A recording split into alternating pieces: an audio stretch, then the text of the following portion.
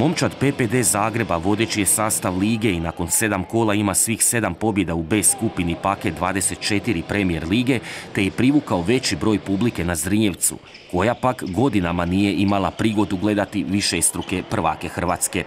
Početak susreta bio je izjednačen, igralo se gol za gol, a kada su se malo bolje ugrijali gosti u plavoj opremi, napravili su razliku od 4 do 5 golova viška, a do odmora je bilo već plus 9 za PPD.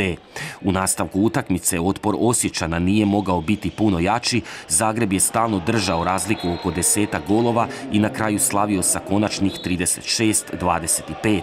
Najefikasniji igrač utakmice bio je Edin Klis sa osam golova, Luka Lovre Klarica je zabio sedam, a kod domaćeg Osijeka šest pogodaka Davida Čička te po pet Mateja Zrna i Martina Lukaca. Mlad je sastav trenera Damira Eklića i sigurno još nedorastao velikom Zagrebu, ali znamo kako je glavni cilj Osjećana u prvoj povratničkoj sezoni premijerke ostati u ligi.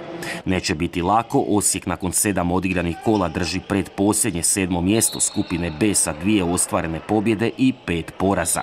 U skupini A vodi Nekse i dvije naše najbolje momčadi, PPD i Nekse, jedine su do sada bez poraza u premijer ligi.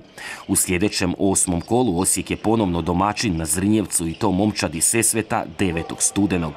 Biće to još jedan težak ispit za mlade Osjećane jer Sesvećani su druga momčad skupine odmah iza PPD Zagreba sa pet pobjeda i samo jednim porazom.